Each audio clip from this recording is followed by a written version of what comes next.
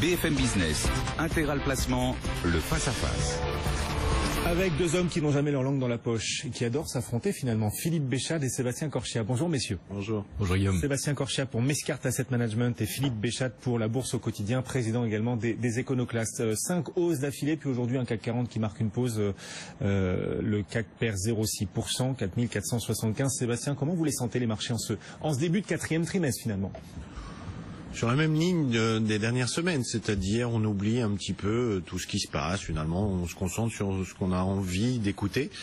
Euh, on a quand même hein, une série de, de, difficultés qui créent un mur un petit peu compliqué à franchir. On le voit, le CAC 40 il est bloqué à 4005 euh, depuis des semaines et des mois. Donc euh, on cumule euh, des valorisations élevées, on cumule un manque de, de momentum, des informations brouillées, on cumule maintenant peut-être un à nouveau cette histoire de Brexit euh, qui serait plutôt hard que soft.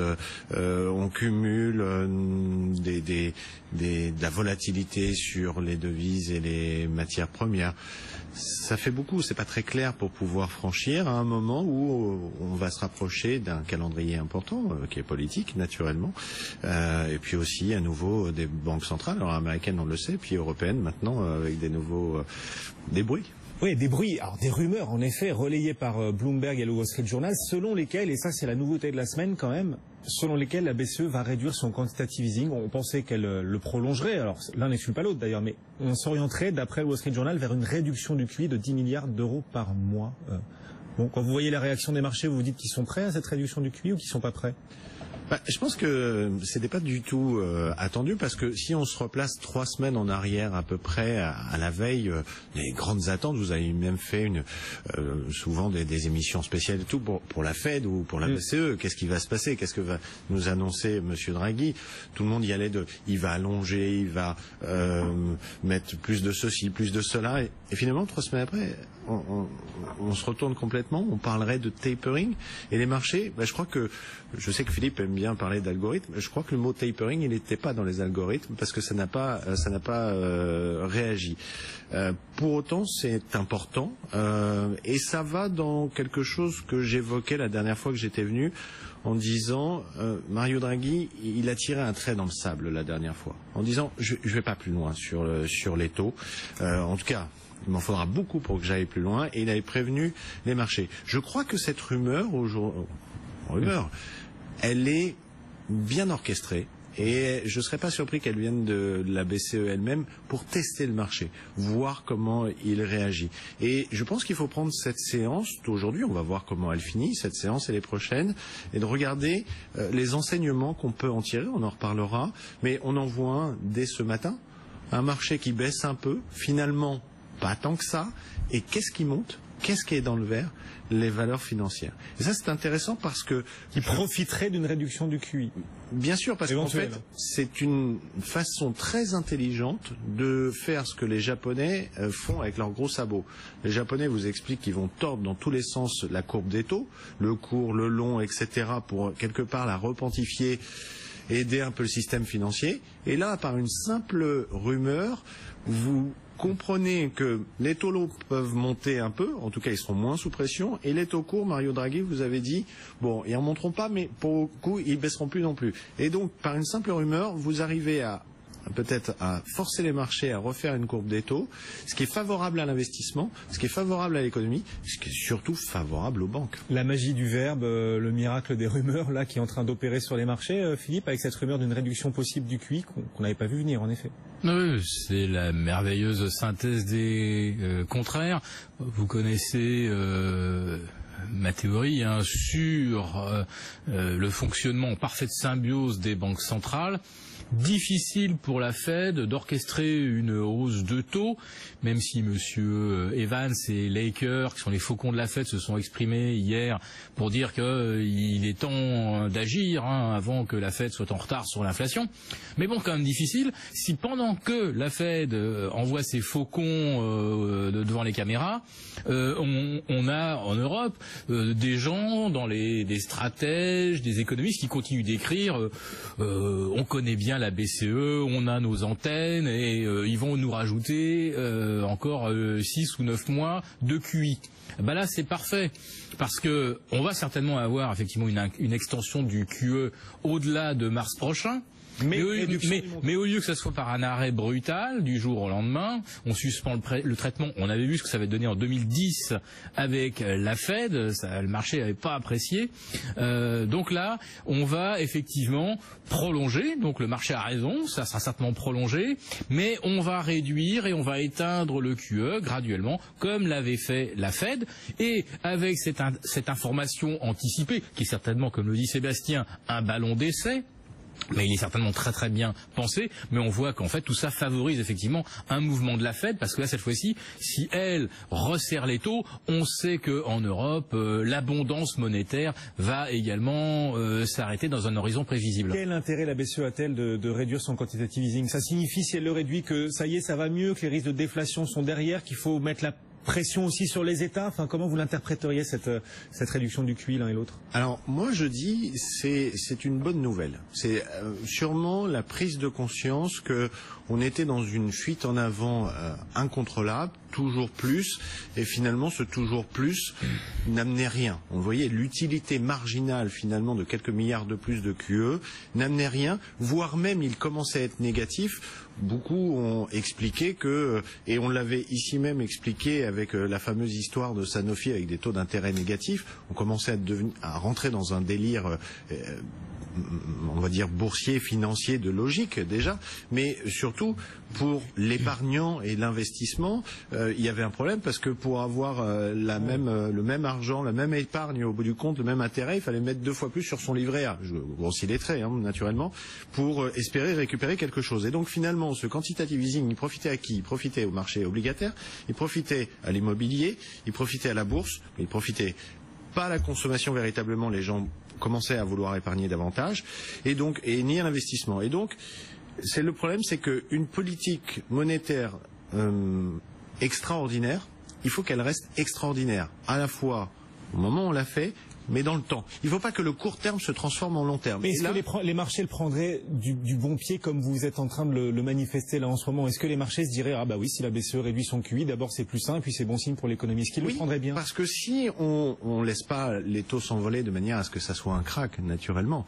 et on est très très loin de tout ça pour l'instant, si on ne laisse pas les taux s'envoler, on redonne euh, la capacité de transformation aux banques, on élimine, hmm. ou en tout cas on diminue un risque qui, vous savez, est latent depuis des mois et des mois, qui est le risque, euh, bah, la profitabilité des banques et in fine leur solvabilité et autres. Et vous le voyez aujourd'hui, euh, et, et, vous savez qu'un marché boursier ne peut pas monter sans que l'indice euh, des valeurs bancaires lui-même ne monte. Donc je pense que on, est, on est sur une asymptote sur les marchés. On le voit dans la rotation sectorielle. Ça a envie d'être un peu plus cyclique, un peu plus financier. Il y a, il y a de plus en plus de courants là-dessus. Je pense que c'est quelque chose qui sera bien pris. Il faut que les marchés digèrent. Il y aura sûrement un autre ballon d'essai. Mais c'est pour moi une bonne nouvelle. Et alors vous parlez peut-être de bonne nouvelle par exemple pour le secteur bancaire. Et sur les taux obligataires, est-ce que ce serait pas ça le déclencheur? Tout le monde craint une hausse éventuellement brutale des taux obligataires, les conséquences par exemple sur l'assurance vie. On en parle beaucoup en ce moment sur la liquidité de l'assurance vie si les taux remontent. Est-ce que si la BCE réduit son QI, ce serait ça le déclencheur euh,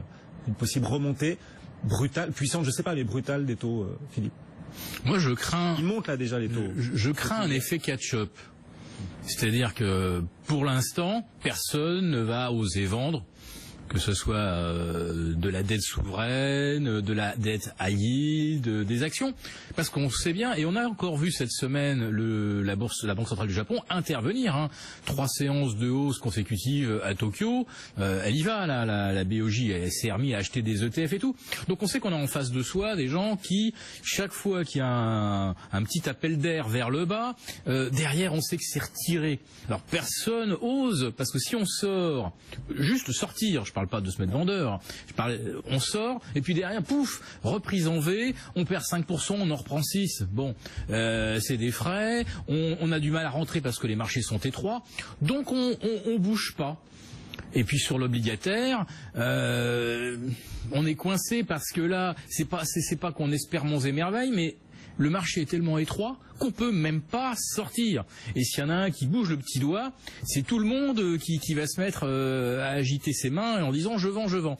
Donc le, ça se passe mal le jour de ce coup, il y en a un qui décide de sortir ou qui est obligé de sortir. Quand je dis obligé, je pense à des euh, problèmes sérieux comme euh, une Deutsche Bank ou une banque italienne obligée d'un seul coup de réduire son exposition, obligée de déboucler des positions sur le dérivé, obligée d'exercer certaines options. Enfin bref, d'un seul coup, il y en a un qui a besoin de récupérer des sous je vous fais pas, je vous fais pas de, dessin. Euh, la Deutsche Bank, a besoin de 100 milliards tout de suite de, recapitalisation, ne serait-ce que pour avoir un ratio, allez, à peu près euh, comparable à celui de banques européennes qui passent les stress tests, hein, sans avoir de, sans obtenir la mention, mais qui passent les stress tests. Donc, vous voyez un petit peu, euh, on est sur une telle inflation de dérivés, d'encours, etc., qu'il suffit que quelqu'un commence à réduire pour que derrière ça déroule. Et il n'y a pas de sortie. Et auquel cas, et auquel cas, la BCE ne réduirait pas son QE. Il n'y a, a, pas de sortie. Une solution. Bah si, en fait, la, la, la, BCE,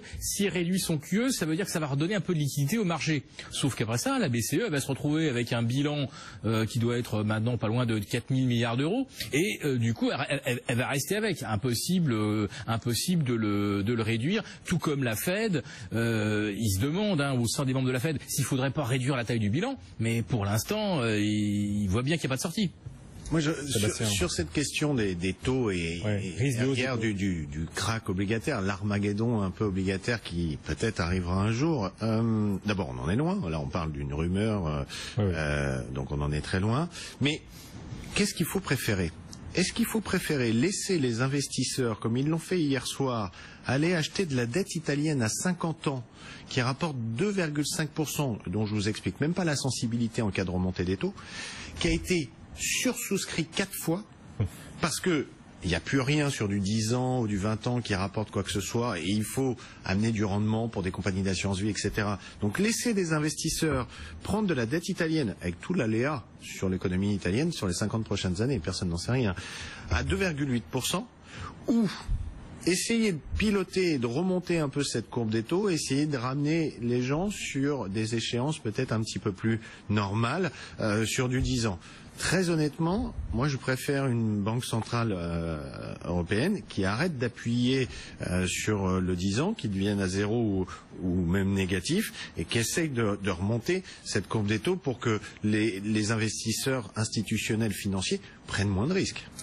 Alors, qu'est-ce qu'on fait justement quand on est investisseur, mais cette fois particulier, qu'on suit tous ces débats, ces grands enjeux autour de la BCE? Maintenant, il y a une question, ce n'est qu'une rumeur, mais cette question, n'existait pas il y, a, quelques semaines sur les marchés. Là, on la voit apparaître sous forme de question, mais la BCE peut-elle, comme la Fed, réduire son, son, QI? Euh, Compte tenu de ce nouvel enjeu, compte tenu des publications d'entreprises aussi qui vont démarrer dans, les toutes prochaines semaines, les élections à venir aussi, on privilégie quel type d'actifs, quel type de marché? Est-ce que c'est l'Europe plutôt que Wall Street, en se disant que Wall Street est encore proche de Cercor Qu'est-ce qu'on fait là aujourd'hui? Moi, je reste sur la même euh, la même idée qu'il y a euh, 15 jours, 3 semaines, un mois. On est coincé, vous l'avez vu, je répète pas, sur les marchés. Oui, oui. La période, je, je pense qu'on se dirige vers une période favorable et que les indices vont sortir par le haut, mais il leur faut un, les valeurs bancaires et deux, peut-être les valeurs énergétiques, vu leur poids dans les indices. Que le mois de septembre, euh, le mois d'octobre, pardon, est un mois dangereux, notamment à Wall Street, à cause de ces publications. Et donc, moi, j'ai envie de dire, il y a plein d'éléments positifs et je pense que les résultats en Europe seront bons. Je pense qu'ils sont euh, pas forcément très bien euh, pricés, qui peuvent laisser un peu d'upside. Je suis pas du tout inquiet sur la saison de publication en Europe. Je suis inquiet, voire assez inquiet sur cette série de publications aux États-Unis avec la cherté euh, de, de Wall Street. Et donc, je dis, allez, tentons de laisser restons là, euh, un peu en dehors en spectateur, comme on le fait depuis euh, oui. euh, deux semaines, trois semaines. Euh, tentons de jouer un petit trou d'air sur le mois d'octobre, et là, on y, on y va. Oui, alors l'Europe euh, en retard sur Wall Street, c'est pas forcément le cas de toutes les places européennes. Londres est tout proche de son record, là, avec la livre à de nouveau plus bas face au dollar, là. Nouveau record hier, à 17h, 17h05, euh, le FTSE s'est établi à 7122, alors deux petits points de plus qu'au mois de mai 2015, enfin néanmoins, nouveau record. Alors, on est effectivement là sur des marchés topiches. Hier, sur le CAC 40, on vient, on vient chercher 3520. Euh, L'Eurostox, on le voit à 3040. On, on, on est de nouveau hein, sur, des, sur des zones qui sont bien identifiées d'un point de vue purement technique. Maintenant, sur le plan psychologique, euh, Sébastien dit, et je comprends son raisonnement, qu'il vaut mieux effectivement qu'on arrête ce jeu, qu'on essaie de remettre l'avion euh, à l'endroit, parce que pour l'instant il vole sur le dos avec les taux euh, négatifs. Sauf que ça fait tellement d'années que la répression financière s'exerce, que les gérants achètent des choses dont ils ne veulent pas, mais ils n'ont pas le choix, il faut qu'ils en mettent pour avoir du rendement. Ça a été très bien Rappelez-vous que les subprimes, les gens s'en gavaient avec allégresse parce que ça rapportait. Là aujourd'hui, les gens se gavent entre guillemets euh, de high yield, de dettes qui seront jamais remboursées, non pas avec allégresse, mais parce qu'ils y sont obligés. Alors on fait un gros procès au gouvernement parce qu'il met euh, d'un seul coup 500 millions dans Alstom et qu'on se dit est-ce que cet argent n'aurait pas été mieux employé à développer les start-up, euh, les Google de demain? On peut débattre. Sauf que pour 500 millions d'euros que le gouvernement a décidé de façon euh, parfaitement dirigiste de mettre de l'argent dans Alstom, ça fait déjà sept ans que les banques centrales, de façon totalement dirigiste, obligent les gérants chaque mois à mettre 500 millions non pas dans Alstom, mais à mettre 500 millions chaque mois dans du high yield, de mettre 500 millions chaque mois dans des actifs risqués. Ils en veulent pas, mais ils ont pas le choix. Donc c'était juste pour vous dire à quel point, euh, parce que c'est dans on est dans la sphère financière et que ça paraît ésotérique pour beaucoup de gens, on se dit ah oh, Alstom c'est un scandale. Mais dans la finance, on est dans le scandale euh, des investissements obligés dans des actifs risqués dont on sait qu'ils ne seront pas remboursés, qui ne tiennent que parce qu'il y a une cavalerie et un Ponzi. Et heureusement que le Madoff aujourd'hui, il a la planche à billets dans sa cave, donc il peut encore payer. Mais on est dans ce schéma-là. Donc à partir du moment où vous supprimez la promesse que ce que vous avez acheté à contre-cœur depuis des années, ça ne va pas continuer de monter parce que la seule raison d'acheter, c'était qu'on vous disait dans trois mois, dans six mois, ça vaudra plus cher. Si vous supprimez cette promesse, je vous dis que ça va faire très mal. Pour répondre de manière peut-être plus précise à, à, la question initiale sur, sur, sur la, la bourse anglaise, euh, la bourse anglaise, on sait qu'elle elle a un parallèle assez euh, naturel avec la bourse euh, américaine un peu, euh, je trouve, dans, en tout cas dans le temps et qu'elle réagit pas forcément comme euh, comme nos bourses. Pourquoi elle, elle, elle, progresse beaucoup? À cause de la livre sterling. Ouais. Mais nouveau plus bas 31 ans aujourd'hui. Voilà. Mais ça a été très bien dit ce matin, je crois, sur votre antenne par euh, Marc Fiorentino, qui a dit Brexit mine Brexit. C'est-à-dire que euh, il y a un moment, l'économie, c'est très bien hein, que le FTSE monte avec la livre, mais il y a un moment, ça va se traduire un, un petit peu dans les chiffres, même si ça se voit pas. J'ai vu des chiffres sur, par exemple, des matériaux de construction en Angleterre. Pour l'instant, rien ne bouge, etc. Je la conso a des plus hauts. En même temps, ça crée des effets de base un peu difficiles. Regardez les, regardez les géants mondiaux euh, cotés à Londres et qui sont euh, des points importants dans l'indice, hein, des, des, des anglo-américaines, des choses comme ça des titres euh, remontent à des vitesses folles, c'est elles, c'est ces titres-là qui tirent euh, l'indice. Donc euh, attention, l'indice n'est pas forcément le bon baromètre. Bon, pour vous, s'il y a un marché artificiellement euh, trop élevé, c'est plus Londres en ce moment, euh, qui risque de rebaisser une fois que les négociations sur le Brexit démarreront, que les marchés, le reste des marchés européens. Ah, par exemple. Contrairement à ce que pouvaient les entendre Philippe, qui estime que les marchés actions globalement sont artificiellement tenus. Moi, je suis très prudent sur les US, euh, positif sur l'Europe et Londres, hormis quelques cas particuliers. Euh, pour ceux qui veulent jouer les matières premières ou autres, euh, je, pour l'instant, je n'y vais pas parce que déjà, je prends un risque de change assez fort, euh, en tout cas une volatilité de change assez forte. Et puis, effectivement, là, on est dans de l'arbitrage purement mathématique. Hein, donc, euh, je pense que la bourse de Londres, elle évolue euh, sur euh, sur un, un, simple arbitrage de devises et une poussée très forte des valeurs de matières premières, ni plus ni moins. Mais si on les enlève, elle, elle est comme les autres. Hein. Et tout tout n'est pas bulle dans les marchés actions, euh, Philippe. Quand on voit par exemple le secteur immobilier qui cartonne depuis le début de l'année parmi les plus fortes hausses, c'est corrélé à des fondamentaux, à une économie par exemple française qui s'améliore sur le front de l'immobilier depuis le début de l'année. Valeo également a des plus hauts historiques euh, hier. Il y a du réel derrière tout ça, c'est pas les banques centrales qui, qui poussent tout ça. ah, euh, C'est toujours l'action des banques centrales. Valeo, euh, Peugeot, Renault, vous voyez chaque fois que le marché prend un biais positif, elles sont archi surpondérées. Donc là, vous avez les machines, elles sont programmées pour ramasser tout ce qui est un bêta positif. Donc ça, c'est systématique. Alors en ce qui concerne euh, les valeurs immobilières et, foncières, oui, elles font effectivement une belle performance cette année, mais leur progression elle est euh, totalement euh, disproportionnée par rapport à l'évolution, par rapport à l'évolution euh, des prix immobiliers, par rapport au rendement que l'on obtient.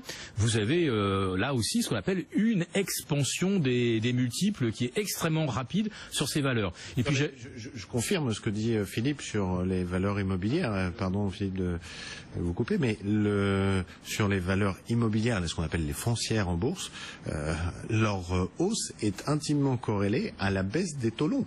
Euh, il y a qui un fini, qui semble-t-il terminé. Qui semble-t-il est terminé. Donc s'il y a bien un secteur où aujourd'hui je n'irai pas, où je n'irai plus, en tout cas, c'est sur ces foncières souvent surcotées par rapport à leur actif net. L'histoire boursière a montré qu'on n'achetait pas une foncière qui était surcotée et qui était corrélées parce que c'est des valeurs de rendement, hein, et puis elles bénéficient aussi d'un de, de, environnement euh, pour investir très favorable. Si vous pensez définitivement que le thème taux est terminé, sans que ça remonte tout de suite, les foncières, c'est à écouter. Et, je, vais abonder dans le sens de ce que dit Sébastien, c'est-à-dire qu'en plus de ça, les foncières, les foncières, j'ai regardé ce qui se passe également aux États-Unis. Hier, elles ont, fortement chuté. Hein. Hier, hier, je regardais euh, toutes les euh, euh, quelque chose, reality quelque chose, ont pris un, méchant pain. Pourquoi? Parce que justement, de ce coup, on se rend compte que la thématique des taux, elle est peut-être pliée. Et puis surtout, on est dans un phénomène euh, global où la bulle immobilière, elle, est d'abord haut en Chine et, elle déborde de la Chine parce que les, les investisseurs, les millionnaires chinois sont pas idiots.